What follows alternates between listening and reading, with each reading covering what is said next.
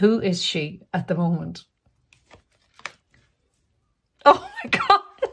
The Messiah. Oh my God. You couldn't make this up. Jesus. Jesus, literally.